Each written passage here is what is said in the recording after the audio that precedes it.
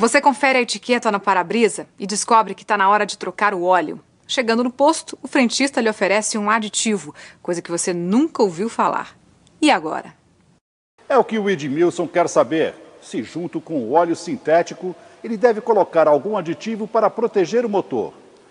Edmilson, não coloque aditivo nenhum, nem no óleo sintético, nem no semissintético ou no mineral. Eles já possuem uma carga de aditivos balanceada e calculada para durar por toda a vida útil.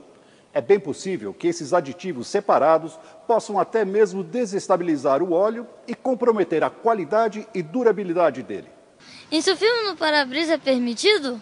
Insufilme não é proibido em nenhum dos vidros. O que não é permitido é a transparência do vidro abaixo dos níveis estabelecidos pelo CONTRAN. Para o para-brisa, a transparência mínima é de 75%, 70% para os laterais dianteiros e 28% para os demais. Se você instalar o filme e a transparência luminosa estiver dentro dos parâmetros, sem problemas. Ocorre que a maioria dos para-brisas já tem 75% de transparência luminosa. Portanto, qualquer coisa que você coloque irá deixá-lo fora da lei.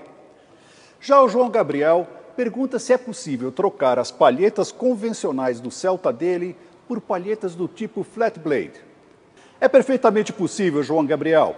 Basta você buscar pelas palhetas flat na medida correta para o seu carro nas lojas de autopeças e que tenham o adaptador para poder conectá-la aos braços do limpador.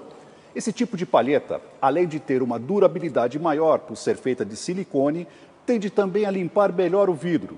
Elas foram projetadas para sofrer uma pressão positiva pelo vento em direção ao para-brisa, o que aumenta o poder de limpeza.